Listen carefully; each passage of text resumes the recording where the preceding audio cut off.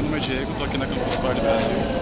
Um evento que reúne em um só lugar várias áreas de interesse. Então, se você gosta de astronomia, robótica, é, software livre, vem para cá porque vale a pena.